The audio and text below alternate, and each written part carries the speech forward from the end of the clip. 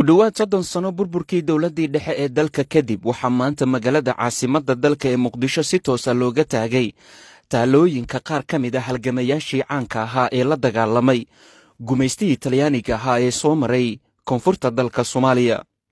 Taalooyinka maanta laga taagay magaalada muqdisho waxaa ka mid a halgamayaashii kale ahaa xaawataako s y l sayid maxamed cabdulla xasan dhagaxtuur iyo axmed gurey muhiimaddan ayaa waxaa lagu tilmaamay inay tahay mid ifafaalo weyn u samaynaysa nidaamkii dowladnimada dalka oo xilligan dib u soo laabanaya. Qaar ka mid a dadweynaha ku nool degmooyinka gobolka banaadir gaar ahaan kuwii dhashay burburkii dowladdii dhexe kadib ayaa maanta waxa ay tageen taalooyinkan maanta laga taagay magaalada muqdisho kuwaas oo ay sheegeen in awal sheekooyin hore ay ku maqli jireen balse maanta ay arkeen taalooyinkaasi oo halgamayaashii soo maray dalka soomaaliya taariikhda ay dalka ku lahaayeen maxamed bin cali uunsane oo ka mid a raggii u soo joogay taariikhyahanka dalka soomaaliya ka mid a ayaa isagu waxa uu si gaara telefishinka universal uu kaga sheekeeyey. Ahmiyadda ay leedahay burburkii dowladdii dhexe kadib sagaashankii in maanta muqdisho laga taago taalooyinka halgamayaashii la dagaalamay gumaystihii talyaaniga horta taariikhda mar hore waxaa tahay siyaad bari allah u naxariiste. Haddana waa warlamaad oo la soo marka aan ka hadalno taariikhda ee sayidka sayidka wuxuu ahaa dad ninka ka hor imaan jiray gumaysigii ingiriiska. Meelal badan ou soo maray dagaal badan ou ku qaaday ouna ku guulaystay. Waa ninkii halgamaha weyn ahaa oo dhinaca siyaasadda soomaaliyeed. Meel badan ou ka qabtay ingiriiska waana ka gacan sidaas ayaa axmed tuur dhagax tuur ahayd meeshaan hadda oo nambar otootada ah dhul weyn ay ahayd. Waxaa la iskugu imaan jiray leegada waxaa laga hor imaan jiray ingiriiska waxaa la tuuri jiray dhagax iyo dhalooyin. Dhalooyin ku jiraan gaas iyo ciid iyo fadiil dheer aalakami sii bambo kale oo qarxi jireen.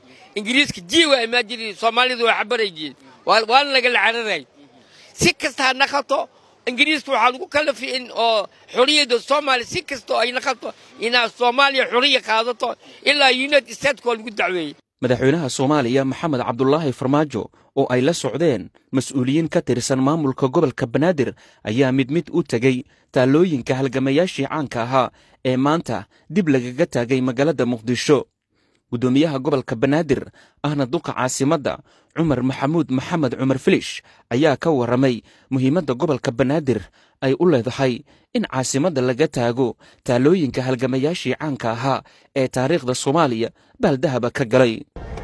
Munaasabad lagu daahfurayo dibudhiska dhammaan taalooyinkii qaranka oo middii ugu muhiimsanayd oo ahayd taalladii s y l aan maanta taagannahay waxaa noo suura galay inaan furno taalooyinka sayidka xawataako iyo kuwo kale. Haddana waxaan taagannahay tii ugu dambaysay oo aan xarigga ka jarno oo madaxweynuhu xarigga ka jaro taasoo ahayd taalladii s y l. Madaxweynaha soomaaliya maxamed cabdulaahi farmaajo ayaa dhankiisa sheegay in tani ay muuqaal dhab ah u tahay nidaamka dowladnimada oo dib ugu soo laabtay geyiga soomaaliya waxaana uu sheegay in goob walba oo taariikhda dalka ka mid ah sidan oo kale dayactir iyo dib u habeyn loogu samayn doono. Fursaddan aan dib u fureenno muddo dheer kadib taalooyinkii qaranka oo ahaa astaan iyo taariikhda dalkan uu lahaa ay ahaayeen. Runtii waxay noo tahay farxad weyn iyo sharaf weyn ayay noo tahay inaan qayb ka noqonnay in aan dib u soo celinno xusuustaas iyo maxaan ku raahdaa taalooyinkaas taariikhda noo leh astaantana dalka u ah. Dal walba wuxuu leeyahay astaan wuxuu leeyahay taariikh iyo wuxuu leeyahay dad ay ku faanaan. Ama halyeeye ha yidhaahdaan ama hiiro ha yidhaahdaan oo dhinac walba ah. Runtii annagu hiirooyadeenna waa badan yihiin laakiin waxaa loo baahan yahay sida maanta aan u xusnay taalooyinkaan u samaynay kuwa kalena inaan u samayno taalooyin oo waddankan contribution wax badan ku darsada wax badan u geysta oo wanaaga dalkan. Runtii waxaan aragnaa sababtaan u xuseenno aan ugu samaynayn taalooyinka ay tahay inay qayb ka ahaayeen halgankii dalkan soo maray.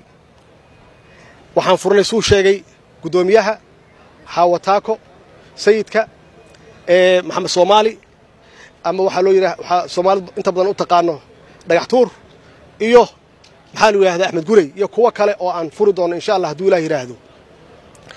Sababtana waxa kale ma aha.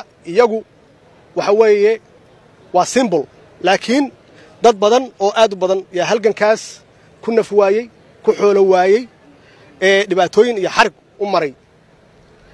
Waxayna qayb ka ahaayeen oo annaga haddaan maanta aan joogno ay ku soo urureen wax walba iyo halgankii ay ku jireen. S y l oo runtii dhammaystirtay xorriyaddii dalka inay dib kii ay isugu keento ayna u midayso waqooyi iyo koonfur.